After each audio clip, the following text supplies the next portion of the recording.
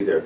Now, we've got something on the other side that I was telling folks about last Yep. night that we want to talk about, and that is the Suwannee Riverkeeper Songwriting Contest. Tell us about that.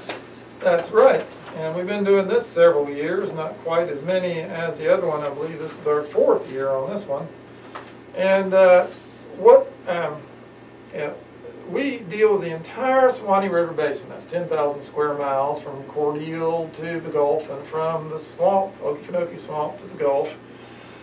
And uh, how many songs do you know about the Withlacoochee River?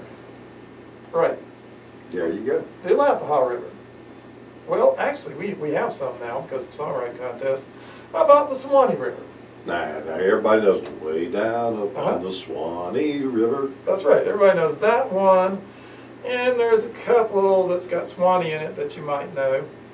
But there need to be more, and there are now. Uh, Save Our Swanee won uh, two times back. That's by a fellow from Jacksonville. And um, we got uh, uh, uh, one of our local uh, bands, Dirty Bird and the Flu, came with something called Alapaha Lap Hogs. Oh, hmm, okay. It was a funk number. It perturbed some of our committee, like, what? It says, it's fun. Oh, okay. Hmm. Well, I tell you what, if you'd give me just a minute, we got to go pay a bill, and when we come back, we're going to talk a little bit about how you can, how folks can get involved in this, in the Suwannee Riverkeeper Songwriting Contest. We'll be All right, right. we'll be right back.